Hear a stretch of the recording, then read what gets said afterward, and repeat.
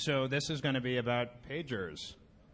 Yep, yep. This isn't 1993, but still, there's there's a lot of traffic out there, and um, let's uh, let's play with it. I'm going to go through uh, kind of a basic uh, SIGINT type presentation. So uh, SIGINT signals intelligence. Um, I guess it's just a fancy name. Try to make my hobby sound a little cooler than it is. Um, so, who is this guy? Uh, Steve from Idaho, Snuffleupagus. Um, I like that one. Just rolls off the tongue, Snuffleupagus. Um, I really don't do anything fancy. Um, I work like everyone else. Uh, work at a gas station. yeah, high aspirations. Stay in school, kids. Um, I like electronics. They're cool. I think we all do. Um, if you don't, you probably should. Uh, making stuff and breaking stuff. More so the latter than anything. I really can't fix much. But I try, and I guess that's all that matters. Um, so uh, let, us let's, let's look at some of the stuff we're going to have here. Um, there is a lot of traffic that uh, that goes over the the wire. How many here actually uh, the code pager traffic actively or back in like the 80s when people actually did it? Yeah, yeah. Um, was there any anything interesting back then? Just to raise your hands. Yes. No hands. No hands. Oh, a couple. Couple. So there was some interesting stuff. Um, there's there's still some now. It's uh, it's really very very niche market. But uh, I mean, some of these abbreviations, it's not a bad niche. Uh, we got DHS, Department of Homeland Security. They like to send uh, um, situational awareness things. Um, Department of Transportation, Bureau of Prisons, Department of Corrections. Um, the sporting thing, I uh, was actually playing with some radio stuff um, during the U.S. Open. That's how I found out Tiger Woods won.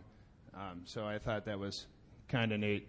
Um, yeah, see, yeah. Uh, any, any golfers in here? No? Okay. Um, so uh, hospital stuff. It's actually kind of criminal how much hospital data goes over there. Patient, physician, and then symptoms. Um, that's I don't know. I don't know about you guys. That's probably not good if I'm calling because I have a urinary tract infection. I don't want some weirdo in his garage to to know that I have a urinary tract infection. Then have my phone number so that he could call me and say, "So does it pee when you burn?" Uh, yeah. Who is this? Um, teleconferences. Yeah, yeah. That's slam. Uh, his mom gave me the clap. Um, so teleconferences. I, am sorry if I'm crude. I'm very nervous right now. It's my first conference, first time speaking. Yeah, yeah. Give, give me singles and maybe I'll get naked. Well, maybe not. Uh, but uh, teleconferences. So, um, what is what's that mean? Uh, teleconferences, but uh, yeah, telefreak.org. No, um, it is. Uh, there'll be issues, and people need to solve issues. So uh, they have a teleconference. yeah, go figure. Solve issues. What a novel concept. So uh, you call in, and uh, there. Well, if you were to call in, um, you would uh, you would hear them troubleshooting whatever it is they're troubleshooting, and it's it's amazing because you could chime in, say, "Yeah, I'm I'm Rick from security." Oh, hey Rick, what's going on? Uh, nothing. So I, I need remote access to help update, and they'll shoot it to you. I mean, it's amazing. Uh, once again, don't do that because that's probably not a smart idea, but it's possible, and you know, and that's it's probably not a good idea.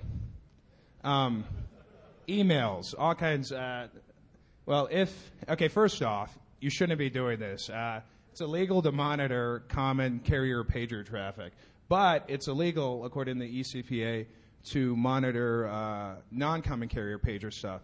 So, for the purpose of this presentation, all the data is, of course, non common carrier frequency captures.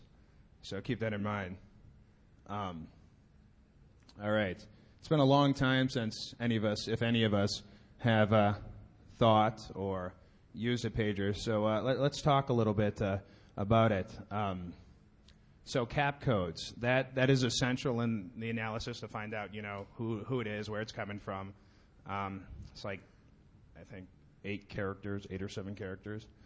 Um, in the United States, the stuff that I'm seeing, and even in other countries, is, is mostly POCSAG and Flex. POCSAG being English, um, actually invented in the UK. It's real popular over there. They still use it a lot. Um, flex, I get a lot of Flex traffic in my area in Idaho. Um, but uh, they're laughing. I don't know why. In Idaho, we get pager traffic. Yeah. Um, so uh, the Golay stuff, uh, I've heard some of that in Canada. And uh, the next thing, you guys are probably thinking, how have you heard it? Well, uh, you know, it, it's it's a new age, man. It's, you're not just picking up uh, radio traffic from your area. You can listen to. You want to answer your phone? Okay, I, I just I can stop talking. Uh, okay, it's all right. Yeah, sorry. It was your pager. Yeah. So, um, once again, this is me trying to resolve my nervousness. So this mic, I have it like all the way up here. Let me bring it down. Um, so because of the internet, you could stream data. So I could set up remote nodes in remote locations and uh, actually listen to stuff, or people already have. So um, I'll, I'll, talk about that a little bit later. So theoretically, I could listen to Caracas in Venezuela and pick up data there, which is really neat because it's in Venezuela and I'm in Idaho. And I could, as long as their radio is set up correctly with the uh, baseband audio, I can actually listen to that, which is neat, but then I could decode it as well, which is even neater. Um, so a data slicer, uh, FSK data slicers, pretty neat. You can make them. There's two or uh, fours, level two or level fours. Um, I really don't have much time working at the gas station, so I buy them off this guy on eBay for like twelve dollars. I guess he's got time. He's retired, and uh, well, he is retired and he's a ham op. So the level twos are actually called uh, what they called hamcons or something like hamcoms, I think. Um, and then uh, we need a discriminator tap in order to get the baseband audio so that we could decode it because um, stuff's FSK versus AFSK. Which uh, anyhow, here's some of the data. I wanted to uh, just give a quick example, but not show too much. Um, there's some interesting stuff there. Um, if, if, you look at that, uh, the inmate stuff, um, there's actually a lot of uh, prison data, and the, some of the, the stuff is, is kind of neat. It's, uh, you know, inmate has eight kilos of cocaine in glassine bag and anus. You know what I mean? It's like, wow, that's, that's a lot of stuff. Um, but you could, goatsy? No. Um, but, uh, you know, it, it's, it's kind of cool that you can track the happenings within the prison. And what's even cooler is there's forms for people who have loved ones in the prison. So I could find out what form that is, find out uh, um, information uh, from, sometimes they'll say inmate names, and we'll talk about that later on. There's databases, depending on what state you're in, that will actually allow you to pull up uh, dossiers of these prisoners with photos and uh, quasi prison record, which is kind of interesting. I mean, because I, you know, it's helpful for me to have a picture to their their story. Yeah. Um, and then the MRI stuff, which, I mean, poor Jessica, you know what I mean? Um, that's not the name that was in there. I just put Jessica because it's a, it's a pretty name. I don't know. I got nothing. Um, yeah, n- noob, exactly. So basic SIGINT, once again, um, this isn't like real deal, you know, NSA signal intelligence type stuff. But since that's all I can really do is pretend like I do any of that stuff, I figured that'd probably be best to make my hobby sound somewhat important. So I say, SIGINT. I'm doing SIGINT in the garage, dear. I can't eat. Um, yeah. So I, will talk about, uh, I'll talk briefly about uh, nodal analysis. I'll talk a little bit about targeting, and that's where the cap codes come in and stuff like that. And uh, signal detection. That's kind of self-explanatory, picking up the signal. Um, but it, it's cool because if you put up a, a map or a chart and in your area, you can actually start, you know, putting pins in it where, where you get traffic. And uh, it's kind of neat to find out, you know, where you're getting stuff from. And uh, it's kind of neat to kind of dig a little more into it and uh, find out nastiness that you probably shouldn't know. But of course, that you're not going to share. Um, but it's interesting. Who needs TV when you have pagers, right? Yeah. Um, so the rise and fall. what does that mean? Uh, well, who here has a pager on them? Yeah. Who here has a cell phone on them? Yeah. So, uh, you know, so what though? You know, I mean, pagers have their use. Uh, like I said, niche market, but great signal. Uh, the, the, transmissions are pretty cool. They it penetrates pretty much everywhere. Penetrates. Um, yeah, woo for the penetration. But uh, I mean, you could get a page, you know, in places you can't get uh, a message, a SMS. Um, and then the protocols we talked about, uh, the flex and POCSAG. Um, there's actually different kinds of flex and different kinds of POCSAG, um, well, baud rates, and then there's different levels for the flex, and that doesn't really matter unless you want to decode or attempt to decode everything, so 100% of your traffic. Then it start you have to start worrying about what level it is, and depending on the app you're using, if you're using an app, which you probably would be, um, you can actually tell what level it is and what baud rate it is, and it'll help. Um, of course, it'll help. Um, it's kind of cool though to run some of this stuff through a spectrum analyzer and actually see the waveform. It's kind of neat. I don't know much about electronics. I like to pretend like I do, so it's it's kind of cool to pretend like I'm doing something neat, something off sneakers, sneaker-ish. Uh, okay, pictures. Everyone loves pictures. Um, setting up the station. I see once again this station uh, sounds kind of cool. Maybe not, but uh, um, we need antennas, and uh, there's different kinds of antennas. Everyone's got their favorite antenna. You go on a hand form. Um, wow, that really burning up. So antennas. Um, so afterwards, get in contact with me. We could talk about this more because I figured I'd only do 20 minutes because I'm really nervous, and it seems like I, I have like 38 slides to go through. So we need antennas. Yay. But see, the thing with POCSAG and Flex, sometimes you don't even need a 10 You can use a uh, paper clip and uh, pick up stuff and actually decode it, uh, which is kind of neat. Cables. So uh, this guy I know, not me, uh, a couple times bought the one fourth instead of the one eighth, and I'm like, uh oh, I'll keep this for another time. Yeah, yeah.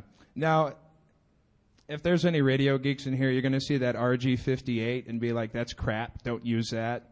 There's better stuff to use. Well, I'm poor, so I'm going to use the 58. And uh, the serial cables. Yeah.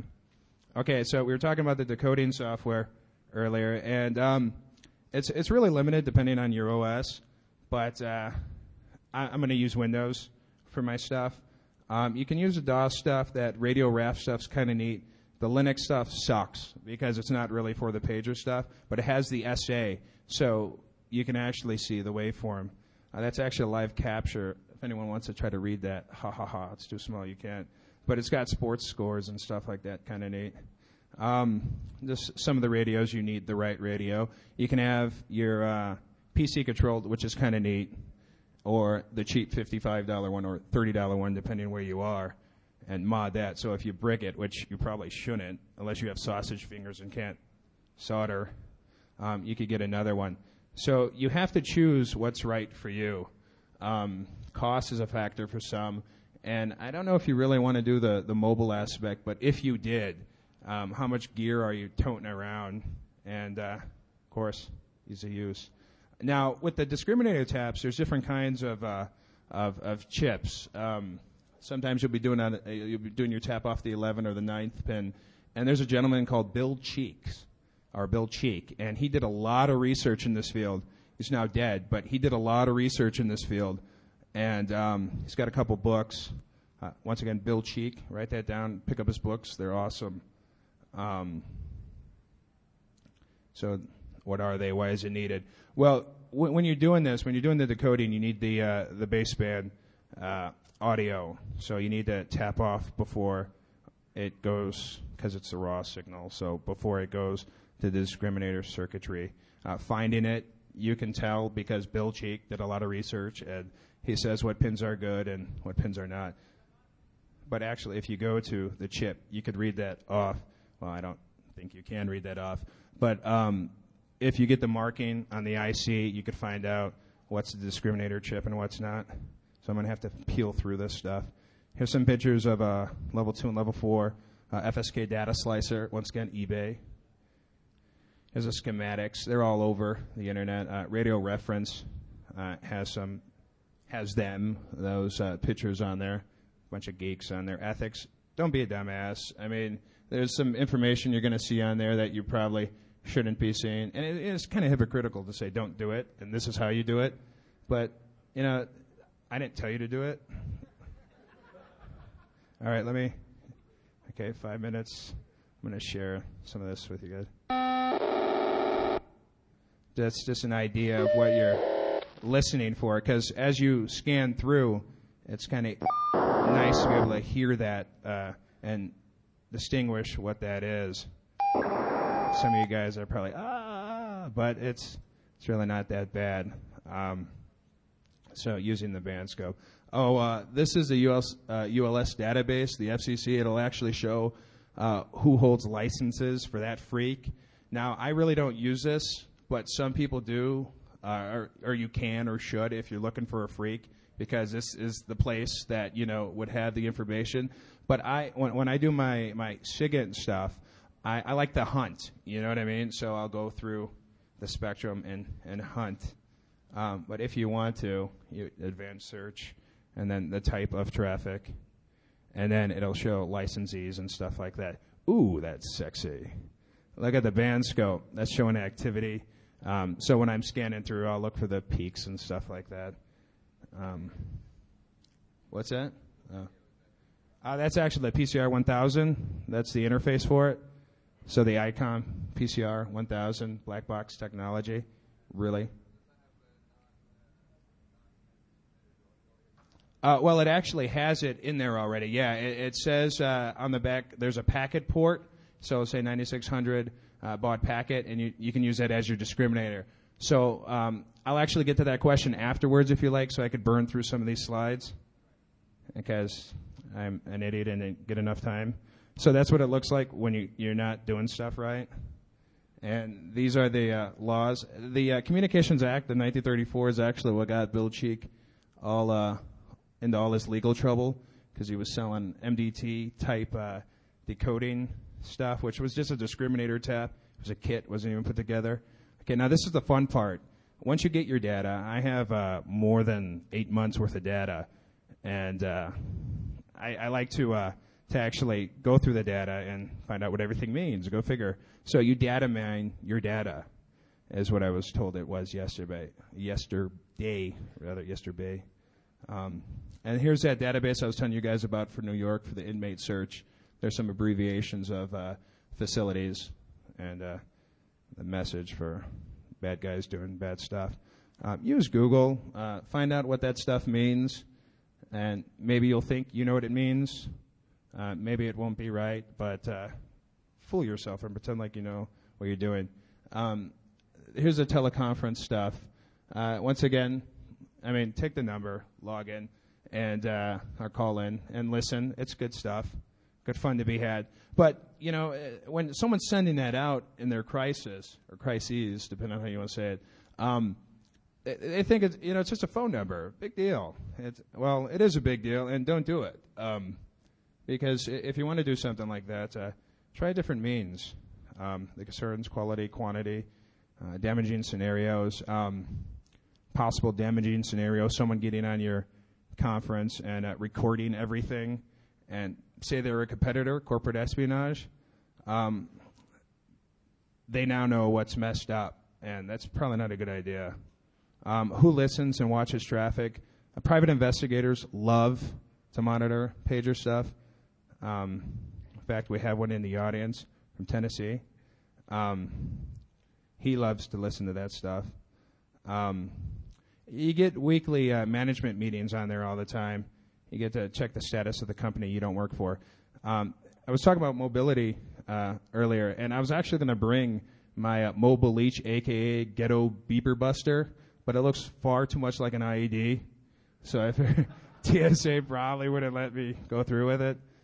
Um, but it's a seven dollar briefcase. Okay, the uh, cap code stuff you could just switch the crystals the meat of the stuff is what I actually want to show you guys is this uh, stuff of decoding stuff off the internet. This blah blah blah blah globaltuners.com.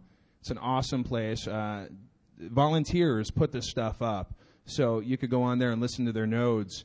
And I mean, it, it depends. You know, um, there's certain etiquette to it, of course. You can't just go into the room and hijack it. But uh, different people like to listen to different stuff.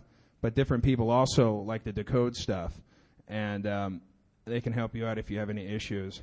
But I mean, there's just so many things you could you, you can do. Um, it's kind of crazy, and it's not your radio. I mean, you don't own a radio. Uh, you don't have to own a radio to do this. So that's what makes it neat. Um, yeah, the uh, the garbage in, garbage out. I'm sure we've all heard that. Um, just make sure your stuff's set up correctly. Now, how do you do that? Um, if the the readout on your uh, answer that, uh, if the readout on your uh, app is all red uh, rather than green, that it's the software is guessing, and um, you may want to you may be off freak, you may not have the ba- right bandwidth. Um, so wow, all right. Um, questions, I guess. Oh, that's actually time. So uh, bombard saved by the bell. Bombard me with questions afterwards. And if anyone wants to come up and look at this beautiful scanner that I acquired from a gentleman named uh, the Felon, please, by all means. It's actually monitoring uh, Common Carrier right now, so it's just to show you that there is traffic. Oh, did you change it? Did you change it? No, it's still there. Oh yeah, it is. It is. Well, I'm not decoding, so it's fine to listen. But uh, so with that, thank you guys for coming. I thought I was only going to get four people. It's a little more than four people. Yeah. Rock on.